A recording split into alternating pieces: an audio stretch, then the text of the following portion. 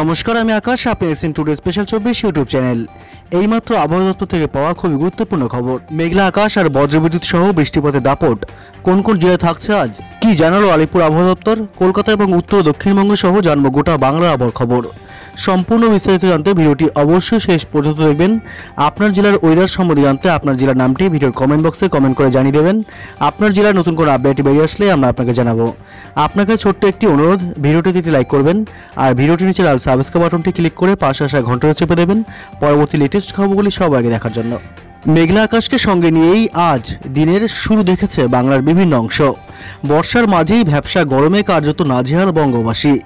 ইলিশের মরশুমে অস্বস্তিকর গরমে কবজি ডুবিয়ে সর্ষে ভাপার মজা তাই সেভাবে পাচ্ছেন না বহু বাঙালি।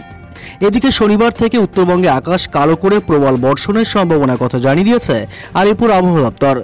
এই পরিস্থিতিতে হাওয়া অফিস কোন পূর্বাভাস দিল? চলুন জেনে নেওয়া যাক। আবহাওয়ার পূর্বাভাস বলছে, ষোলোই জুলাই শুক্রবার সকাল থেকে আলিপুরদুয়ার এবং কোচবিহারে ভারী বৃষ্টিপাত হতে পারে। পরবর্তী চব্বিশ ঘন্টায় জলপাইগুড়ি, আলিপুরদুয়ার ও কোচবিহারে ভারী থেকে অতি ভারী বৃষ্টির প্রবল সম্ভাবনা রয়েছে।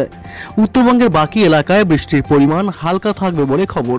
তবে বজ্রপাতের চরম তীব্রতা থেকে যাবে বলে জানা গিয়েছে। তবে পাঁচ জেলায় প্রবল বৃষ্টিপাতের সম্ভাবনা রয়েছে। জানা গিয়েছে, উত্তরবঙ্গের পাঁচ জেলায় শনিবার প্রবল বর্ষণের সম্ভাবনা রয়েছে।